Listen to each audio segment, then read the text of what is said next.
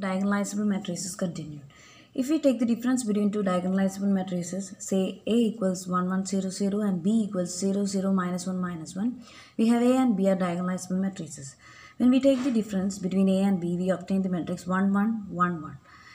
Using characteristic equation, we obtain the eigenvalues which are distinct, lambda equals 2 and lambda equals 0. Since we have obtained distinct eigenvalues, we will also get distinct linearly independent eigenvectors. Having obtained two linearly independent eigenvectors, we can conclude that A minus B is diagonalizable. But this example does not guarantee that always the difference between two diagonalizable matrices will be diagonalizable. Suppose we take A equals 1, 1, 0, 0 and B equals 0, 0, 1, 1. We have A and B are diagonalizable matrices. But when we take the difference A minus B, we have 1, 1, minus 1, minus 1, which is not a diagonalizable matrix. So in general, we have the result Difference between two diagonalizable matrices need not always be diagonalizable.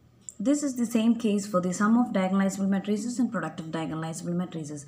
In certain examples, we may find that the sum of diagonalizable matrices is diagonalizable and the product of diagonalizable matrices is diagonalizable.